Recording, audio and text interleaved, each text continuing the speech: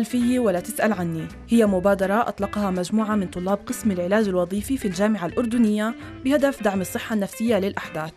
المبادرة هي عبارة عن مشروع تخرج قام به تسعة طلاب حيث أمضوا وقتا مع عدد من الأحداث وشاركوهم بنشاطات مختلفة بهدف تحسين حالاتهم النفسية ليتخرجوا من هذه المراكز محملين بأخلاق عالية وطاقة إيجابية مختلفة عن التي رافقتهم عند دخولهم مراكز الإصلاح.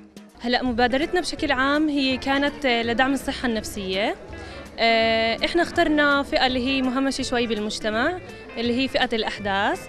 آه، تخصصنا لندعم هاي الفئة من الناس ورحنا اشتغلنا معهن آه، عدة فعاليات لحتى ندعمهن نفسيا ندعمهن كمان معنويا. فكان بصراحة يعني تجربة كتير حلوة. خاصة إنه المجتمع يعني مش كتير عم بيعرف عن عن هاي الفئة.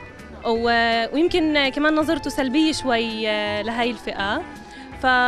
فحبينا إنه نشتغل نشتغل معهن آه، ندعمهن ونوعي المجتمع أكثر يعني يشوفوا الصورة الصح يمكن. وفي أشياء يعني عن جد مخفية اللي إحنا ما كناش نعرفها.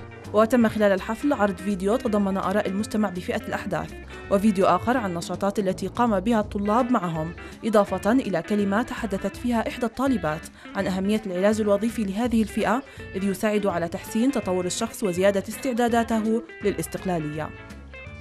عوامل انحراف الأحداث.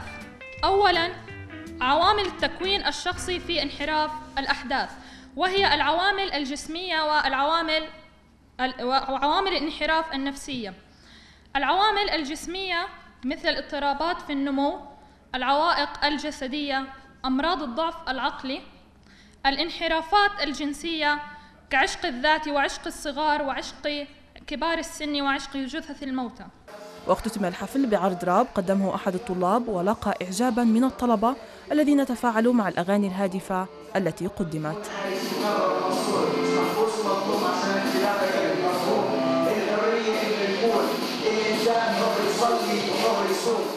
إلين يوسف رؤيا.